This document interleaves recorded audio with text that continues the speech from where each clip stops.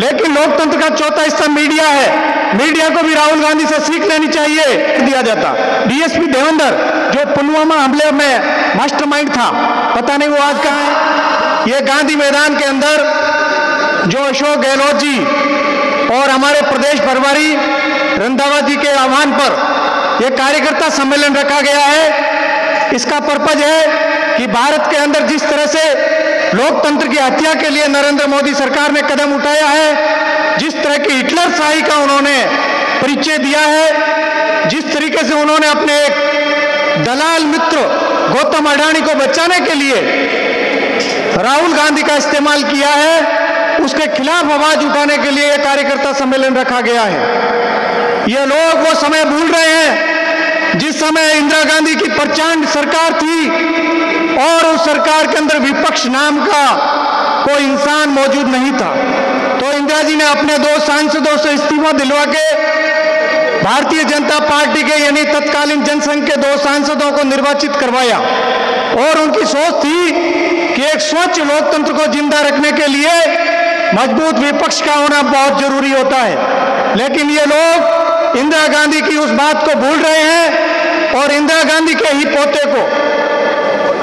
लोकसभा की सदस्यता से हाथों हाथ जिस तरीके से इन्होंने हटाया है, उनकी लोकसभा की सदस्यता जो खत्म करी है, वो लोकतंत्र को खत्म करने का एक कदम है। इन्होंने हाथों हाथ उनके बंगले को भी खाली करने का नोटिस दिलवाया है। जिस तरीके से गुजरात के चिला कोर्ट के अंदर जो शिकायत दी गई थी और शिकायत शायद वापस भी ले ली गई थी, लेकिन आनंद फानंद में उन्होंने वापस कोर्ट का मिसयूज करते हुए हाथों हाथ फैसला निकलवाया और उस फैसले के 24 घंटे के अंदर लोकसभा अध्यक्ष ने राहुल गांधी की सदस्यता निरस्त कर दी।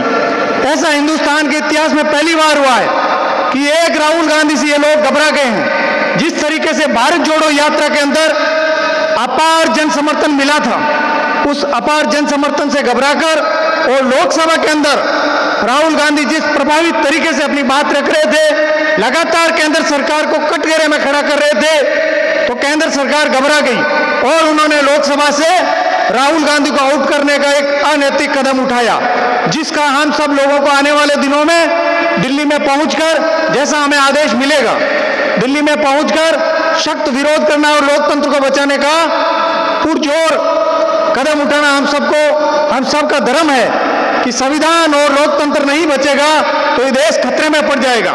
नरेंद्र मोदी जी और अमित शाह ये चाहते हैं कि देश की सारी सत्ता की चाबी हमारे हाथ में रहे। कोई भी व्यक्ति लोकतांत्रिक तरीके से बात नहीं रखे और अगर वो बात रखता है तो उसको देश विरोधी घोषित कर दिया जाए। आज मीडिया भी डरा हुआ है। मीडिया के ऊपर भयंकर दबाव है। मीडिया के लोग सच लिखना चाहते हैं, लेकिन मोदी सरकार लिखने नहीं देती है। मुझे पता है मेरे कुछ साथी जो स्थानीय, वो कह रहे हैं, हमारे ऊपर दबाव नहीं है। लेकिन आपके राष्ट्रीय स्तर के जो कार्यालय है, राष्ट्रीय स्तर के जो आपके संपादक है, उनको हमेशा डरे और धमकाया जाता है। लेकिन लोकतंत्र का चौथा स्तंभ मीडिया है। मीडिया को भी राहुल गांधी से सीख लेनी चाहिए। डरो मत, झुको मत, संघर्ष करो लोकतंत्र को बचाओ। क्योंकि हिंदुस्तान का जो संविधान है, दुनिया का सबसे बड़ा संविधान है। और इस संविधान को बचाने की जिम्मेवारी हम 140 करोड़ भारतीयों के ऊपर है। ये लोग मीडिया का भी भी मिसयूज करते हैं और इस तरह की खबरें मैनिपुलेट करवाते हैं कि जनता कंफ्यूज हो जाती है। ये धर्म की बातें चलवाते हैं। एक बार नेपोलियन बोनापार्ट ने कहा था कि जनता जब अपना हक मानने, मांगने लग जाती है तो शासक को धर्म का झंडा आगे कर देना चाहिए। शायद नेपोलियन बोनापार्ट की बात को याद रखते हुए नरेंद्र मोदी और अमित शाह यही कर रहे हैं कि जो जनता जागरूक होती है जो ही महँगे गैस की बात करती है जो बिजली की बात करती है जो गौतम अडानी की बात करती है तो ये धर्म का झंडा लेकर इन मीडिया वालों के ऊपर दबाव बनाते हैं और तरह तरह की खबरें चलवाते हैं उससे हिंदुस्तान की जनता थोड़ी कंफ्यूज हो जाती है। क्योंकि हिंदुस्तान के लोग भूलते बहुत जल्दी है। अच्छी बातों को बहुत जल्दी भूल जाते हैं। सौ बातें आप अच्छी कर दो और एक कोई बुरी हो जाए तो सौ बातों पे पानी फेर देते हैं। इसलिए हर घर के अंदर आज टीवी के रूप में भारतीय जनता पार्टी का एजेंट मौजूद है। आप टीवी का कोई भी चैनल चला दो, उस पर हिंदुस्तान के किसी भी घर में जाके देख लो।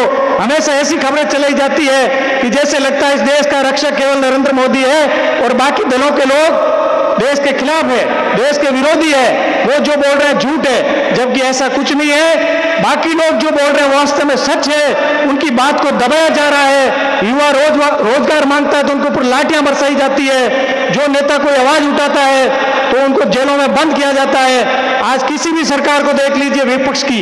उनके ऊपर हमेशा टारगेट होता है। मुझे एक सीधे से प्रश्न का आप उत्तर दीजिए। 2014 से लेकर अभी 2023 चल रहा है। हिंदुस्तान के अंदर ऐसा क्या हो गया?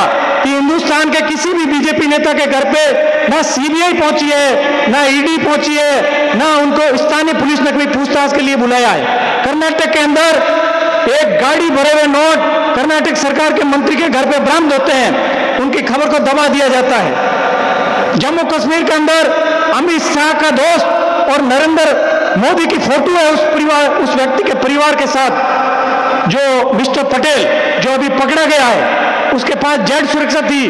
बिल्कुल फर्जी तरीके से वो जम्मू कश्मीर में घूम रहा था। लेकिन मज़ा ने मीडिया के किसी भी अखबार ने उसकी खबर छापी हो। कभी नहीं छापी। अगर ऐसा काम कांग्रेस के किसी नेता के हाथों हो जाता तो हाथों हाथ उनको पाकिस्तान कनेक्शन दिखाकर देश विरोधी घोषित कर दिया जाता। डीएसपी देवेंद्र, जो पुलवामा हमले में मास्टरमाइंड था। पता नहीं वो आज कहाँ है। पुलवामा हमले के अंदर 300 सौ के जी आरडीएक्स कहाँ से आया? आज तक पता नहीं चला। क्योंकि ऐसी खबरें दबा दी जाती है और ये खबरें और इस तरह के कांड ये खुद कराते हैं। इसलिए यहाँ आए हुए लोगों से मैं आह्वान करूँगा कि आने वाले दिनों के अंदर हमें तन, मन, धन से चाहे हमारे खुद का टिकट करना पड़े, खुद का खाना खाना पड़े, हमें दिल्ली पहुँचना है और प्रत्येक व्यक्ति अन्य साथियों को लेकर पहुँचे और मीडिया के लोगों से भी मैं निवेदन करूँगा कि आप डरो मत। सच लिखो, सच लिखोगे तो संविधान बचेगा और लोकतंत्र बचेगा और आने वाली पीढ़ी आपको याद रखेगी। धन्यवाद। जय हिंद, जय भारत।